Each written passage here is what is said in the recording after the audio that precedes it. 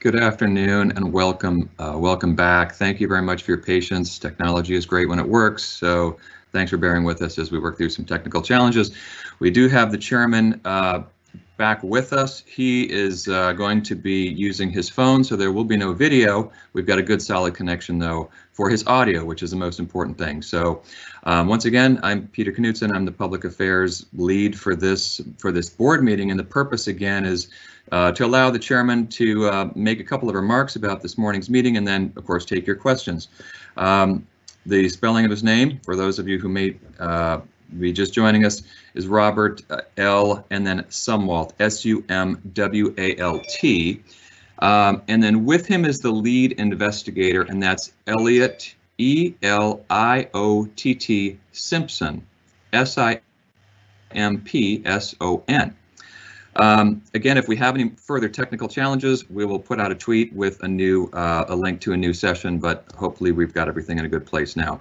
Now to ask a question, select the question icon on the upper right hand of your screen. The icon is depicted with a question mark in a box. So type your question along with your name and affiliation and submit it, and then I will read the questions to the chairman. Uh, so with that, I will turn it over to Chairman Sumwalt. Peter, thank you very much. And uh, I'm, I, am deeply sorry for all the technical problems that I've had since the board meeting and uh, sort of lets the air out of any uh, excitement that, that we might have had for the press briefing, uh, media briefing. But I do want to say that today's board meeting and the work that staff has done to develop this aviation investigation report, I think it really highlights that there, the FAA needs to impose a higher level of regulatory requirements and oversight for these revenue passenger carrying Part 91 flights. We really have put out six recommendations, uh, and, and, and really, if I were to characterize those recommendations in non-legal terms, uh, I would say that really what we're looking for and what we've asked the FAA to do is one, have different um, a different regulatory framework, a more robust framework for these types of operations. Another thing is that we'd like for them to do is to identify shortcomings in the current regulatory structure. Um, another is that we want them for these revenue revenue passenger carrying flights under Part 91 to develop an SMS we want better guidance for the FAA inspectors when providing surveillance of these types of operations.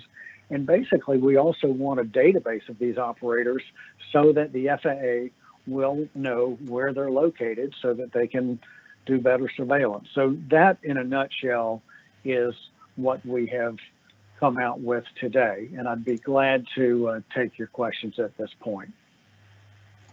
Sure. So I'll go ahead and read uh, the first question from, from Glenn Moyer, editor of the Balloon Federation of America. What is the significance of the amendment to today's adopted report to reiterate and reclassify A17045 regarding medical certificates for balloon pilots?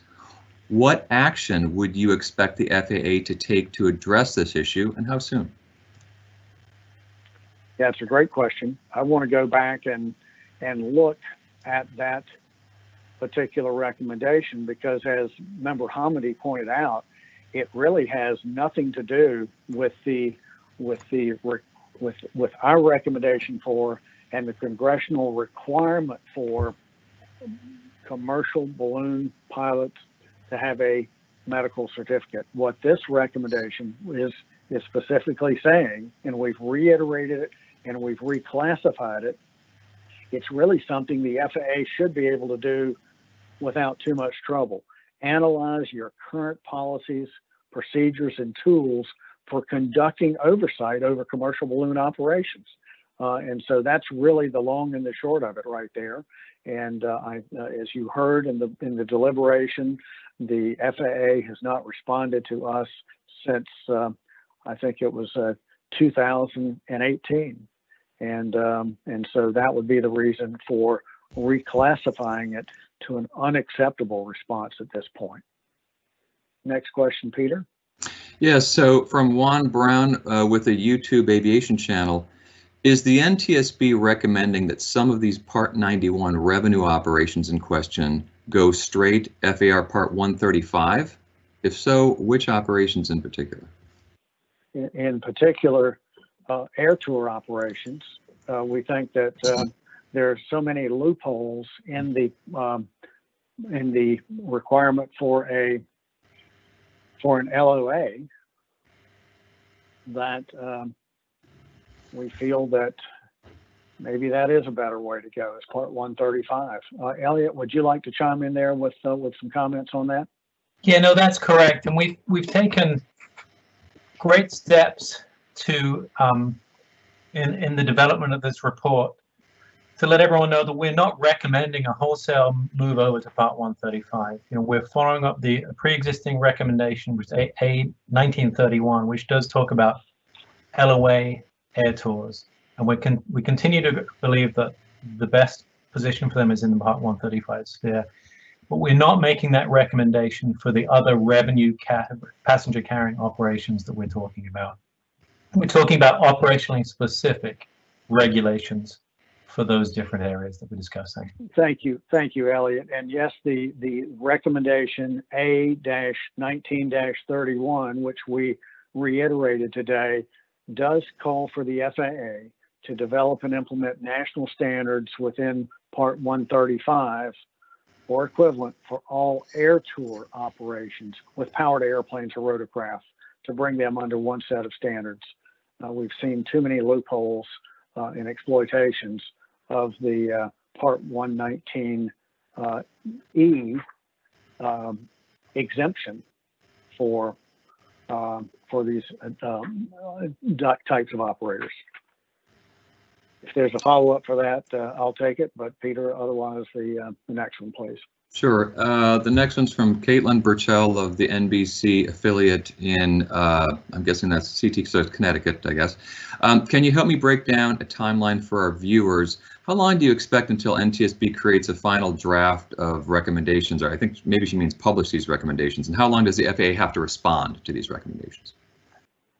Yeah, great question. So this report, uh, we adopted it today. So the report and then there's one addition that staff will circulate to us in the coming days to better justify the amendment that member Homendy made for the one regarding commercial balloons. So the report itself will be published within about four weeks.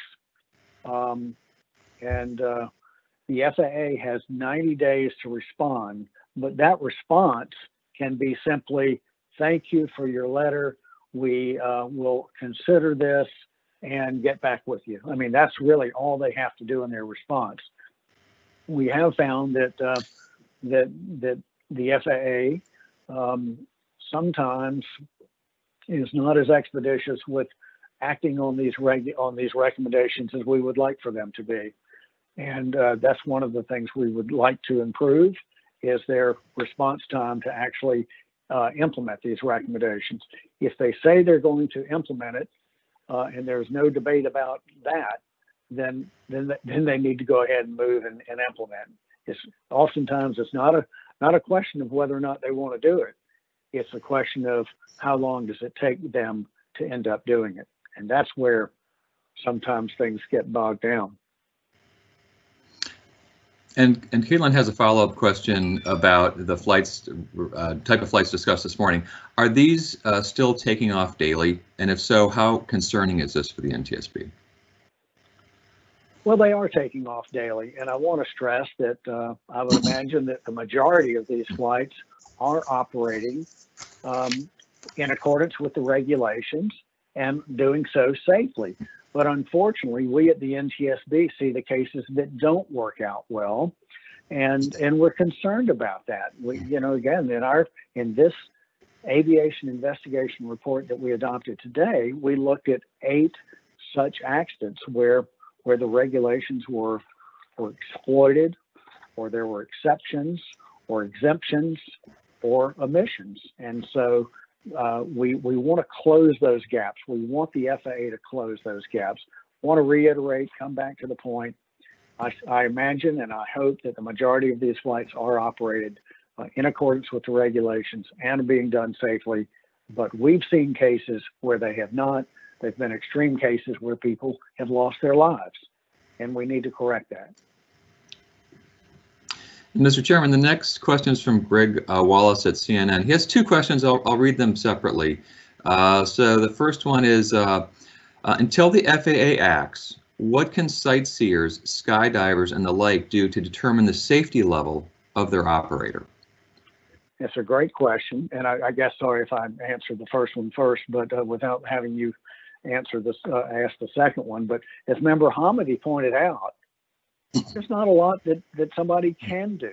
It's not like some things where you can look for a good housekeeping seal of approval, or you can go on a website and and see who has the best uh, safety rating. Unfortunately, there's really no good way for um, for a potential customer or potential passenger to to look at this and, and to examine the safety levels. And that's why it's so important that we have the FAA doing their job, which is to ensure the safety of the traveling public or participants in this type of operation.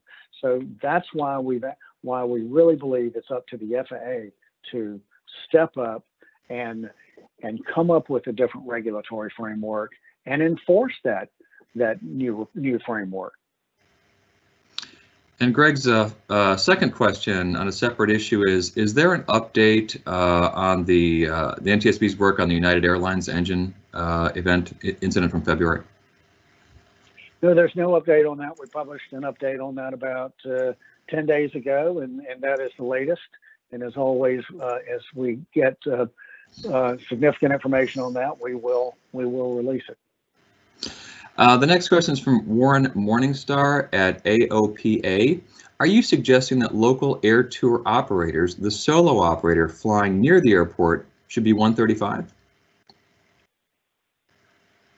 Well, we've seen too many uh, loopholes where people are getting around uh, the these sorts of um, regulations that are in place, and so we feel that uh, there needs to be be a change. And that's why we re- reiterated the recommendation today to develop and for the FAA to develop and implement national standards within Part 135 uh, or, a similar set of regulations for all air tour operators. So, yes, the answer to that, Warren, would be um, yes, we feel that that 135 offers a higher level of safety from a regulatory point of view than just strict 91, and uh, and that's why we've uh, we issued that recommendation in 19 2019, and that's why we reiterated it today.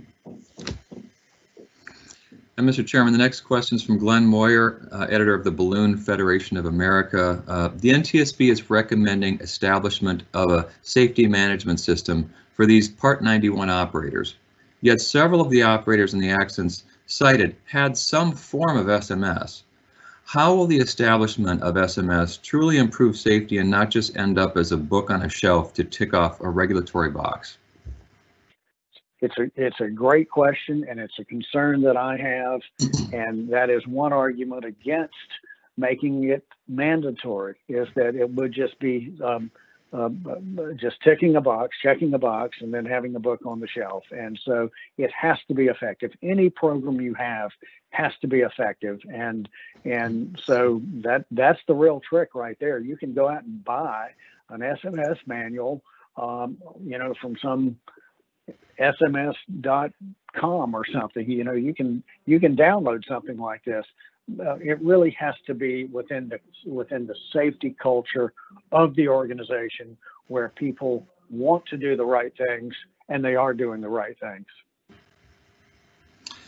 Mr. Chairman, and, and, uh, and, can I, if you don't mind, can I just follow up with a with that was one of the reasons for uh, recommendation six. We talk about for this very reason the FA provide ongoing oversight of SMS so that it simply doesn't become you know essentially a paper tiger and that's that's the reason for our six recommendation now. Yes, and that recommendation six does, thank you, Eliott, for jumping in there. Um, for the revenue passenger carrying operations addressed in the previous recommendation, provide ongoing oversight of each operator safety management system once established. Thank you.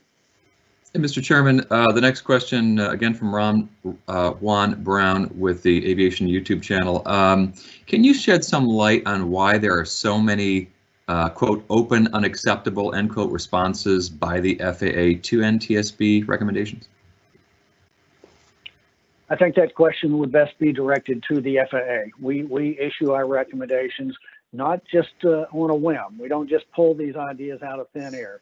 The recommendations that we issue are based on crashes, generally where people have died, families have grieved.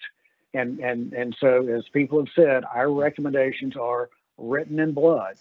And so, we do want the FAA we, we, we point out areas where there's deficiencies and we've come up with recommendations that can correct those deficiencies.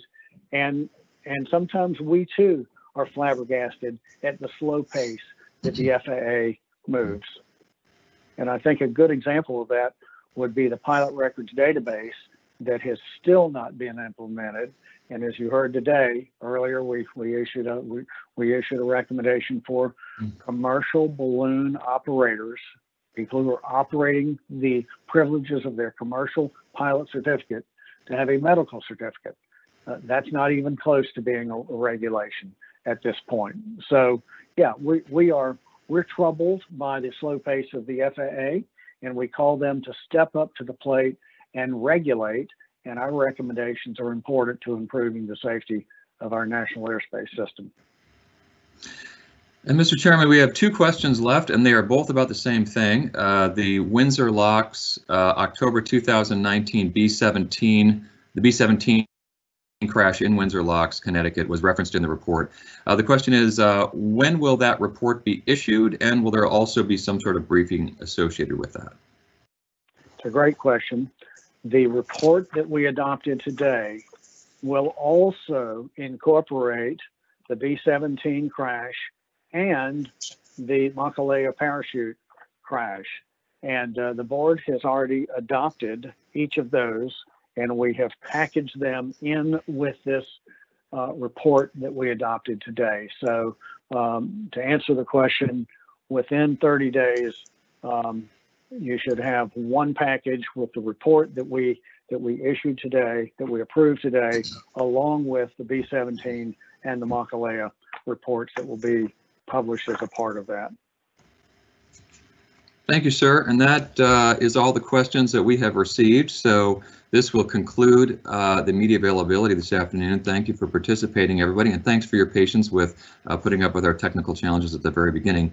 We're going to a uh, upload a recording of this entire briefing onto our YouTube channel. We'll try to do that later this afternoon. Um, NTSB Gov on YouTube. Uh, you can just Google us um, at NTSB uh, YouTube, and you'll you'll it'll bring it right up. Um, if you have any follow-up questions, you can send them to this following email address: NTSB Media Relations, all one word, no spaces. NTSB Media Relations at ntsb.gov. Uh, our office number is 202-314-6100. Uh, on that number, there'll be the duty officer's uh, contact info uh, should you have any urgent requests. Um, follow us at NTSB underscore newsroom for the latest updates on any NTSB activities. Thank you for, for your participation today.